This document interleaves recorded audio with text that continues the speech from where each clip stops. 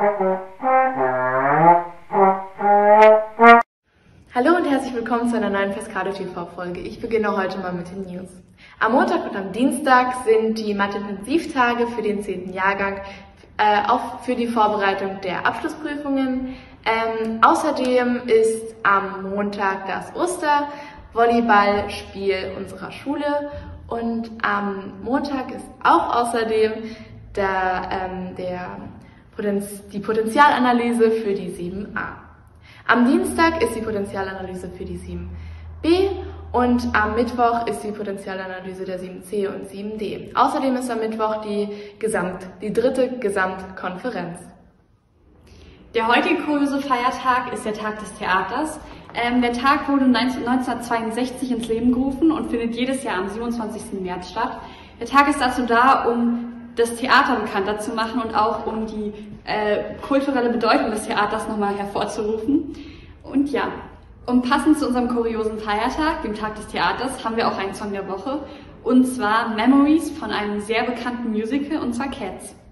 Hier ist jetzt noch ein kleines Infovideo für euch ähm, von einem ehemaligen ähm, Schüler an unserer Schule und zwar ähm, lädt er ganz herzlich dazu ein, ins Café Hinterhof zu kommen, ähm, weil dort ähm, zivilgesellschaftliche Engagements vorgestellt werden. So, hallo liebe Schülerschaft vom Evangelischen Gymnasium. Mein Name ist Richard Herbst, ich habe hier Abi gemacht 2012 und ich würde euch gerne einladen, am 2. April ins Café Hinterhof zu kommen, von 10.30 Uhr bis 16 Uhr. Da findet eine kleine Veranstaltung statt, wo wir zivilgesellschaftliches Engagement sowohl in Neuruppin als auch in Berlin und Brandenburg vorstellen.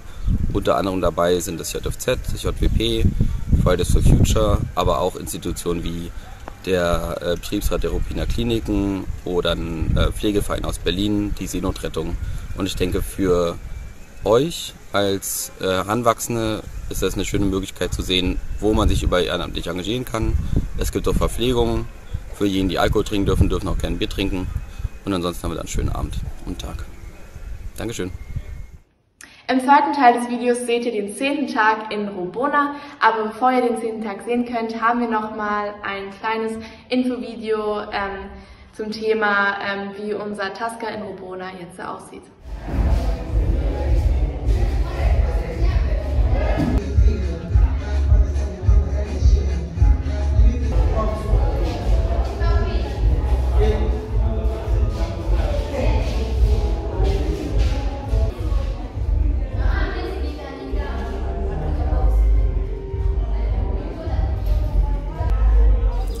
Frauen haben den Haushalt zu schmeißen, auf die Kinder aufzupassen und zu kochen. Damit ein herzliches Willkommen zu unserer heutigen Folge. Ähm, wir haben heute gelernt, dass es auch anders geht. Denn diese Vorurteile zu teilweise afrikanischen Ländern treffen hier in Robona auf jeden Fall nicht zu. Heute haben wir nämlich ähm, den Robona Basket Shop besucht.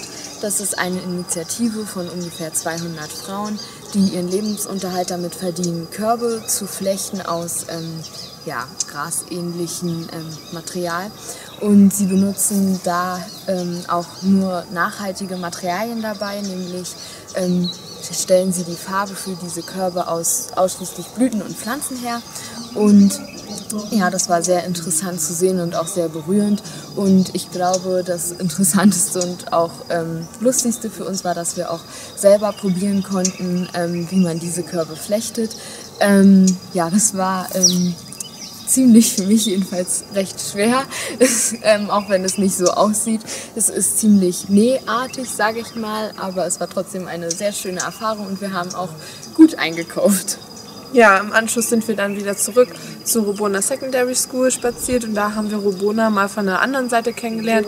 Denn wenn man zu Fuß geht, sieht man ja doch viele Dinge viel bewusster und auch länger, als wenn man einfach nur durch eine Ortschaft durchfährt.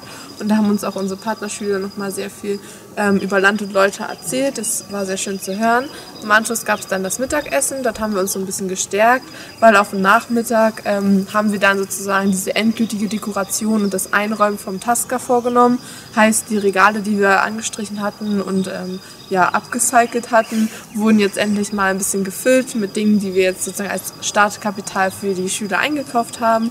Ähm, wir haben dabei besonders darauf geachtet, dass ähm, Dinge, die wir gekauft haben, ähm, sie auch weiterhin kaufen können, sozusagen im Supermarkt und es regionale Produkte sind und ähm, haben ihnen so ein bisschen auch das Kassenbuch erklärt, dass sie wissen, dass sie immer alles aufschreiben müssen bei Ausgaben, bei Eingaben und natürlich auch den Saldo. Und ähm, dann haben wir die Tische noch ein bisschen aufgehübscht und jetzt ähm, sieht das Tasca wirklich aus wie ein richtig schönes Café, wo man sich auch gerne reinsetzen möchte. Und es hat auf jeden Fall sehr viel Spaß gemacht und äh, wir freuen uns morgen dann auf die Einweihung. Ja. Bis dahin dann. Tschüss. Tschüss.